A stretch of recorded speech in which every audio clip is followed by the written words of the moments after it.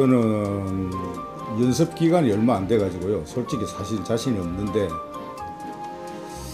또 상대도 있고 하니까 최선을 다해서 그냥 즐기는 걸로 할 생각입니다. 열심히 하겠습니다. 저는 뭐이 나이 들 때까지 춤하고는 담을 쌓고 살아봤는데 지금 이번에 갑자기 이런 기회가 돼가지고 하는데 이것도 배우는 걸 생각하고 어, 좀 재밌게 해보려고 합니다.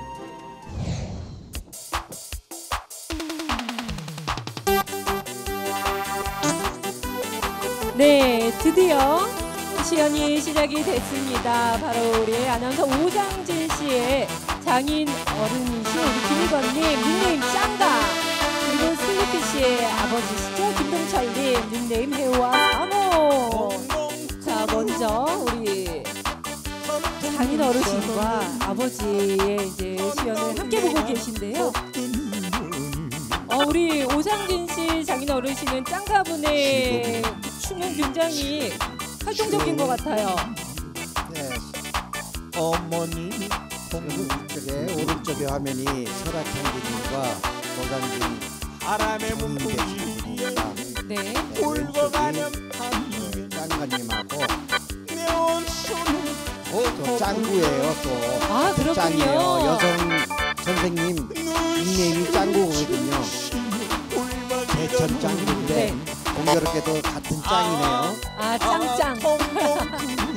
자 흰 옷을 입으신 분이 바로 태호와 사모. 우리 태화 사모님은 그 예전에 아주 한 3개월 정도 배우셨다고 그랬는데요. 아, 믿어지지 않을 정도로 너무 잘하세요. 제가 네. 살짝 봤는데 깜놀했습니다. 그러게요. 춤을 두 분 다 배우신 지 얼마 안 되셨다고 하는데 그게 맞나 싶을 정도로. 지금도 여성 위에 전화 계속 가볍게 해내셨거든요, 리드를. 어, 네. 리드가 부드러워요. 어, 여성의 머리에 발랑말랑하게 네. 부드럽게 저렇게 리드를 하고 계십니다. 네. 모습 자 우리 오상진 씨 장인 어르신께서도 정말 배우신 대로 정석으로 춤을 추시는 것 같아요. 교과서처럼 여성분의 리드를 받으면서 아주 점잖게 춤을 추고 계시네요. 필살기 갈매기 스텝 이제 네. 나올 예정일 거예요. 지금 단발 들어갔습니다. 이살 짝단발을 지금 심사석에서는 뭐 난리가 났습니다. 아마 아까 그 동작이 하와포 지루박이라는 아마 그 동작인 네. 마치 콘서트를 멋지게 이었죠.